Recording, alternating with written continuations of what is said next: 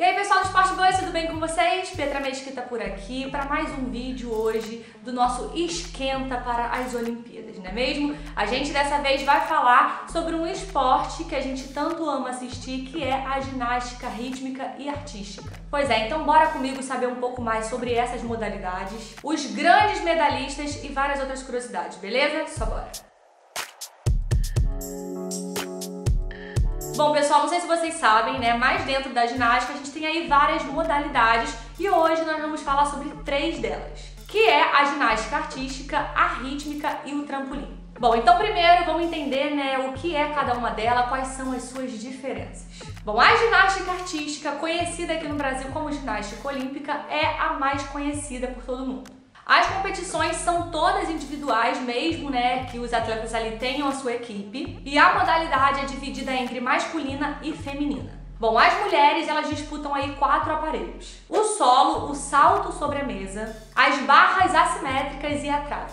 Já os homens competem em seis aparelhos: o solo, salto sobre a mesa, cavalo com alças, barras paralelas, barra fixa e argolas. E olha, gente, uma curiosidade bem interessante é que essa é uma das quatro modalidades que nunca saiu do programa olímpico.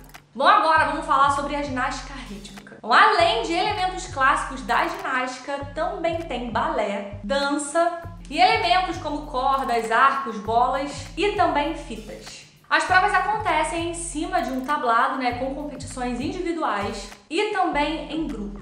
E é competida aí apenas por mulheres. Bom, essa modalidade entrou nos Jogos Olímpicos lá em 1984, né, nos Jogos de Los Angeles, mas inicialmente era competição aí só individual. Aí em grupo foi surgir só lá nos Jogos em Atlanta, né, em 1996, e quem venceu foi a seleção espanhola. Bom, já a ginástica de trampolim é menos conhecida e teve seu início lá no Circo da Idade Média. Bom, a modalidade entrou nas Olimpíadas em Sydney em 2000 e é dividida aí em quatro provas: a individual, sincronizado, duplo mini trampolim e o tumbling. Bom, e a competição funciona da seguinte maneira: os competidores eles saltam aí nesse trampolim, mais conhecido, né, pela gente aqui como câmbio elástica, e eles precisam executar então movimentos técnicos com vários saltos diferentes.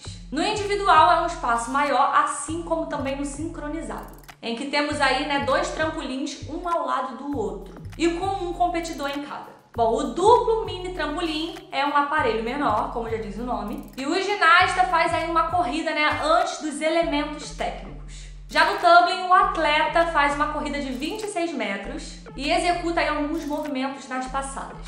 Bom, mas agora vamos falar sobre né, destaque aí dos brasileiros nessas modalidades, porque a ginástica artística é a modalidade em que a gente teve mais destaque. Bom, a primeira medalha olímpica de ouro do Brasil aconteceu lá em 2012, nos Jogos de Londres, em que Arthur Zanetti levou aí, né, o primeiro lugar nas argolas. Bom, mas foi na Olimpíadas do Rio de 2016 que os brasileiros conquistaram aí né, os maiores números de medalhas e conseguiram duas pratas e um bronze. No solo, Diego Hipólito levou a prata e Arthur Nori levou a de bronze. E nas argolas, Zanetti levou aí a de prata também. Bom, já na ginástica rítmica, o Brasil nunca teve tanto destaque assim. Mas sempre se superou, né, e conquistou ali algumas posições importantes no ranking. O Brasil ele participou da estreia ali da ginástica rítmica nos Jogos de 1984, que aconteceu aí né, em Los Angeles com a ginasta Rosana Favilla. Bom, mas foi só em 2000 nos Jogos Olímpicos de Sydney que o conjunto brasileiro conseguiu aí o seu melhor resultado,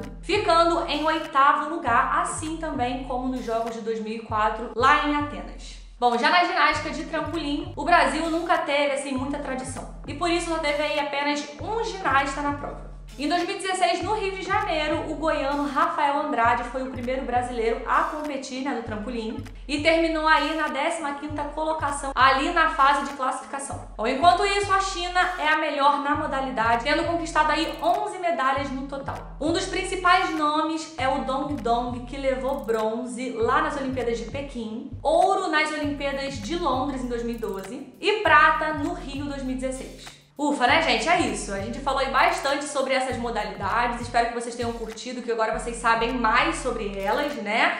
Então já podem aí se preparar para as Olimpíadas que já já tá chegando e a gente vai continuar aqui com o nosso esquenta. Então para isso, curte esse vídeo, se inscreva no canal e também ative as notificações porque a gente sempre tá fazendo vídeo aqui para você ficar antenado em tudo, beleza? Um beijo para vocês, a gente se vê em breve e tchau, tchau.